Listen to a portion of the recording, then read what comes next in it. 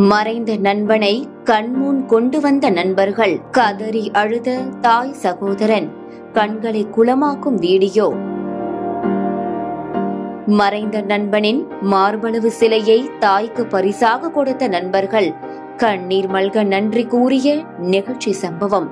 எங்கு நடந்தது முழுமையாக பார்க்கலாம். நீலகிரி மாவட்டம் உதகை அருகே அட்டுக்கொலை கிராமத்தை சேர்ந்தவர் ரித்திக். இவர் கேத்தியில் உள்ள தனியார் கல்லூரியில் படித்து வந்த நிலையில் கடந்த ஆண்டு பைக்கில் சென்றபோது சாலை விபத்தில் சிக்கி உயிரிழந்தார். முன்னதாக கால்பந்து வீரராக இருந்த ரித்திக் அப்பகுதியை சேர்ந்த கால்பந்து அணியில் விளையாடி வந்துள்ளார். இதற்கிடையே ரித்திக்கின் மறைவு நண்பர்களை சோகத்தில் ஆழ்த்தியது. இந்நிலையில் அப்பகுதியில் உள்ள ஏடிகே கால்பந்து அணி சார்பில் இந்த ஆண்டு கால்பந்து போட்டிகள் நடைபெற்ற நிலையில் சிறப்பு அழைப்பாளர்களாக தனது நண்பனின் தாய் ரெஜிமா மற்றும் சகோதரர் ஜான் ஆகியோரை ரித்திக்கின் நண்பர்கள் அழைத்து வந்தனர்.